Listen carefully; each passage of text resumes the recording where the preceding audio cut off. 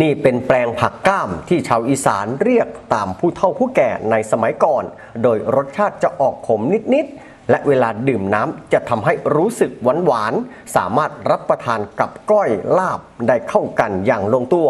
ซึ่งแปลงผักก้ามที่เห็นอยู่นี้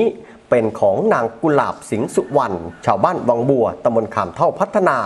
อำเภอกันทรวิชัยจังหวัดมหาสารคาม ที่ทำการปลูกไว้ภายในแปลงโคกหนองนา พื้นที่เล็กๆ จากแรกๆ ไปขอต้นพันธุ์มาจากร้านขายหัวหารสัตว์มาปลูกไว้จำนวน 3 ต้น ปัจจุบันผักก้ามได้เจริญงอกงาม และก็ขยายเพิ่มปริมาณจำนวนมากขึ้น ส่งผลให้มีรายได้เพิ่มขึ้นควบคู่กันไปกับการขายผักชนิดอื่นๆ โดยนางกุหลาบสิงห์สุวรรณชาวบ้านวังบัวตำบลขามเท่าพัฒนาอำเภอกันทรวิชัยจังหวัดมหาสารคามบอกว่า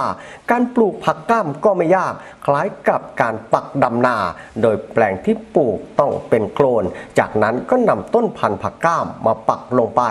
หลังจากนั้นก็เติมน้ำลงไปในแปลง หรือจะไม่เติมน้ำก็ได้ เพราะผักชนิดนี้สามารถเจริญเติบโตได้ทั้งแบบน้ำขังและก็พื้นดินโคลน ต่อมาผักก็จะเริ่มมีรากยาวขยายไปตามพื้น และก็จะแทงยอดเป็นต้นใหม่เพิ่มมากขึ้นเรื่อยๆ ใช้เวลาปลูกประมาณ 3 เดือนก็สามารถเก็บยอดไปจำหน่ายได้แล้ว แถมปลูกครั้งเดียว เก็บเกี่ยวผลผลิตได้อย่างต่อเนื่องและยาวนานอีกอย่างยังได้รับผลตอบรับจากลูกค้าภายในชุมชนเป็นอย่างดี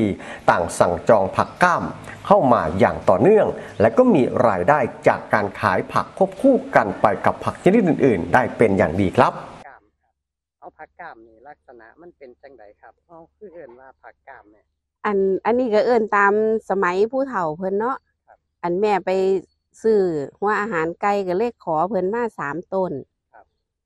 พักกามแม่ก็บ่ฮู้จักดอก ก็เลยถามผู้เฒ่าแหละเพิ่นปลูกใส่กระถางไว้ครับอันถามเพิ่นว่าย้ายพักอีหยังนี่ พักกามตัวลาพะนะแม่เลยขอน้ำเพิ่นมาสามต้นครับพอมาปลูกสามต้นมันนี่มันเลยแพร่หลากมันจะยังยังไปหนังก็เลยแพร่ไปหอดพุ่นละได้หลายเติบอยู่เออไอเสาว่านนี่ก็เจ็บได้ห้าสิบบาทครับค่ะร่วมกับพักขั้นจองอีหยังกับมือว่านนี่พักขั้นจองก็ได้ร้อยหนึ่งแมนค่ะก็เลยพ่อได้ค่านมอยู่ดอก ก็ดีอยู่ครับครับ ผักเออ ผักชนิดนี้เนี่ย ส่วนใหญ่เพิ่นเอาไปกินกับหยังครับ เพิ่นเสียวไปกินกับลาบงัวล่ะลาบปลาครับ พวกก้อยปลาแล้วก็ซุปบักมี่ ซุปหน่อไม้ประมาณนี้ล่ะในการปลูกนี่ครับปลูกปลูกยากบ่แม่นผักกามบ่ค่ะบ่ยาก ครับ ที่แรกเฮาปลูกจังไดครับ อันน้ำพ่อเป็นตมนี่ล่ะ ครับ ดินพ่อเป็นตมนี่ก็เอามาเน็บไว้ปลูกไว้พาขั้นจองมื้อนี้ก็บ่ยากอ๋อแล้ววันนี้ก็เอาน้ำใส่ถึงถึงแม่นบ่มีน้ำก็บ่ตายหั่น อ๋อแล้วมันมันสิโป่งใบน้ำยอดมันสิโป่งใบน้ำมันรากมันครับ ค่ะปลูกง่าย อืมอันนี้ก็บ่คือตายสามต้นก็คือแพร่ขยายออกแม่นค่ะ แต่ว่ากันคันมีน้ำก็ดีจังซี่แหมแต่ว่าเว้าเลี้ยงตายบ่น่ะบ่ตายง่ายคันแต่ว่าเราก็มักน้ำอยู่คือกัน อยู่อยู่นี่แม่ปลูกโดนปานใดครับกว่าสิเริ่มขยายเริ่มแพร่ออกหลายนี่แม่ปลูกบางเดือนมีนาอ๋อมีนาแม่นค่ะอ๋ เดือนมีนาก็บ่หลายเดือนค่ะ ครับ เป็นจังไดครับ ตอบรับดีบ่ลูกค้าตอบรับดีลูกค้าว่าอุ้ยผักกามตัวนี้แม่เพิ่นว่าคันแม่เอาใส่เล่นหน้ารถไปนี่อุ้ยผักกามตัวนี้แม่เพิ่นว่าข่อยมักมักเพิ่นก็วาจังซี่เนาะอ๋อครับวันนี้แม่ก็กินเบิ่งอยู่คือกัน บัดบัดมากินแล้วมากินคือเพิ่นว่ามันแซ่บแซ่บอีหลี เวลากินลงไปมันจะขมอำลำครับบัดนี้มากินน้ำน้ำกลมมันจะเป็นหวานหวานอ๋อจ้ะครับ ส่วนส่วนใหญ่นี่เฮาสิ